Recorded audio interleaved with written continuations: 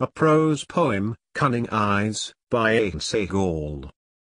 Lamentable levitation, poor journey. Thereupon a disabled destination. What holds that? What is in it? Cunning eyes focus on that. With shameless and ugly tricks. I thought. I stayed with thoughts. I felt shame. Shamefully bowed my head. I often grumbled, with myself.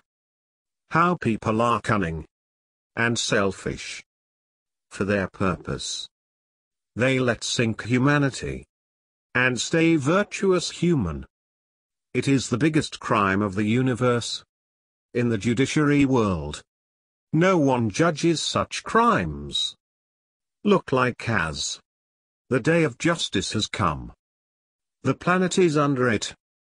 What is else? We wait for that.